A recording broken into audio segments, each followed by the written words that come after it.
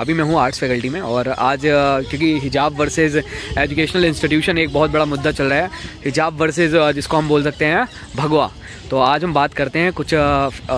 यहाँ के छात्रों से जो दिल्ली यूनिवर्सिटी के हैं और मैंने कल एक वीडियो अपलोड ही कर रखी तो आज इनका डिस्कशन देखते हैं क्या होता है पहनना चाहिए या नहीं पहनना चाहिए हिजाब अलाउ करना चाहिए या नहीं करना चाहिए आप क्या अलाउ बिल्कुल नहीं करना चाहिए बिल्कुल इसके कुछ रीज़न है पहले हमें ये देखना है कि मुद्दा उठा कहाँ से है जी ये कॉलेज से उठा है कि स्कूल से उठा है ये मेरे हिसाब से तो स्कूल से उठा है स्कूल से उठा है बिल्कुल तो आपको पता होना चाहिए कि स्कूल की एक ड्रेस कोड होती है बिल्कुल वो ड्रेस कोड क्यों होती है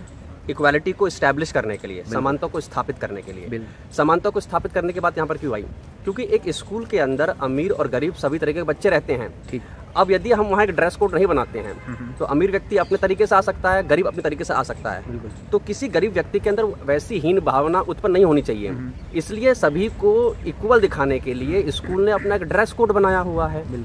अब उस ड्रेस कोड को दरकिनार करते हुए आप ये चाहते हैं कि आप बुरका और हिजाब में आए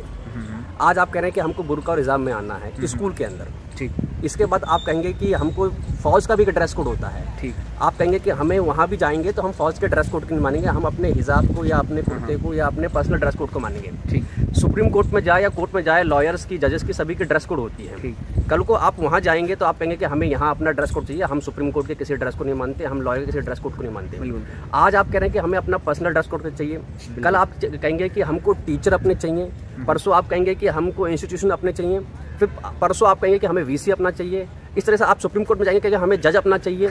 तो इस तरीके की प्रक्रिया में आप ये देखेंगे कि आप कॉन्स्टिट्यूशन को ओवरलैप कर रहे हैं बिल्कुल निजी अधिकार जो कहा जाता है कि धर्म एक निजी अधिकार है आर्टिकल जो पच्चीस है जब हम कॉन्स्टिट्यूशन की बात करते हैं कॉन्स्टिट्यूशन में धर्म की आज़ादी की बात कही हाँ, हाँ। गई है हम्म, हम्म। लेकिन आपको ये भी पता होना चाहिए कि जब हम कोई कानून निर्माण की प्रक्रिया अपनाते हैं तो उसमें हमारा अनुच्छेद पच्चीस रोड़ा नहीं बनता है बिल्कुल वो उसमें ऑब्स्टेकल नहीं बनता है बिल्कुल और जब हम पब्लिक प्लेस की बात करते हैं तो पब्लिक प्लेस में हमें देखना होता है कि एक मेजोरिटी में हम किस चीज किस तरीके से चीज़ों को देख रहे हैं रही बात माइनॉरिटी की कि माइनॉरिटी को शोषित किया जा रहा है उनको मतलब कि उनके पर्सनल ड्रेस कोड को नहीं माना जा रहा है हम्म। तो जब आप ये कहते हैं कि भारत एक सेक्युलर स्टेट है हम्म। तब आप सैक्रो स्टेट बोलने के बावजूद आप धर्म के आधार पर मेजोरिटी और माइनॉरिटी का कंसेप्ट बनाते हैं ये कंसेप्ट ही अपने आप में गलत है बिल्कुल तो इसलिए हिजाब का हम विरोध करते हैं होना चाहिए नहीं होना चाहिए मतलब स्कूल ये है सिर्फ और सिर्फ पॉलिटिकल मुद्दा बनाने की वो है और एक ही कम्युनिटी अपने आप को रेडिकलाइज करने की वो कर रही है हम उन्नीस में हमारा हिंदू मैरिज एक्ट आया जब से लेकर हमें पुश करा जा रहा है एक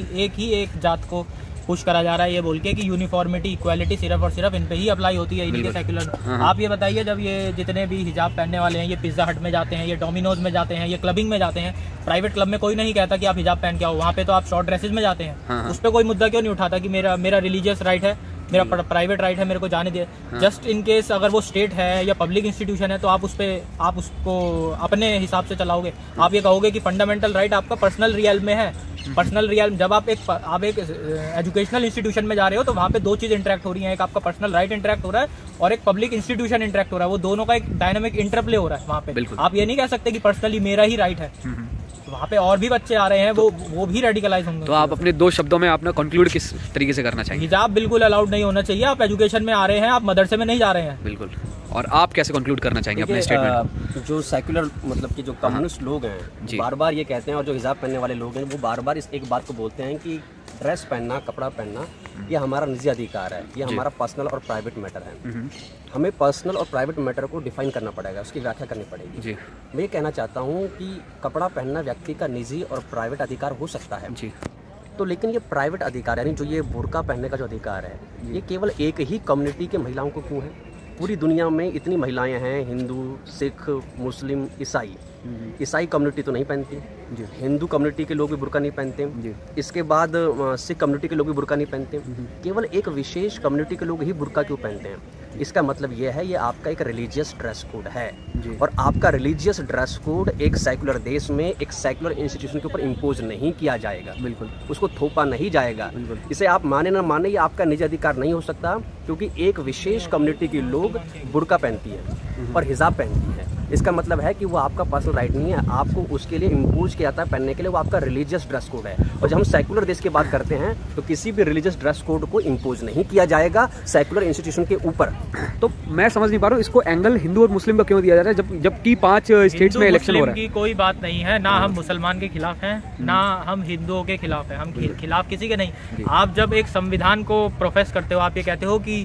वी आप ये मानते हो कि हमारा सबसे सेकर्ड पॉलिटिकल डॉक्यूमेंट जो कॉन्स्टिट्यूशन है तो आप कॉन्स्टिट्यूशन पे चलिए वो आपको राइट right देता है मोड्स मोड्स देता है आपको राइट्स रिकॉग्नाइज करता है आपके आपका उसका मतलब ये नहीं है कि आप एक एक पर्टिकुलर मुद्दा उठा के उसे पॉलिटिसाइज करके आप पब्लिक इंस्टीट्यूशंस को और स्टेट पे इम्पोज करते रहेंगे कि नहीं पब्लिक राइट right है पब्लिक प्राइवेट राइट है हम्म। आपको एक बात जाननी होगी कि इन अ कॉन्स्टिट्यूशनल डेमोक्रेसी और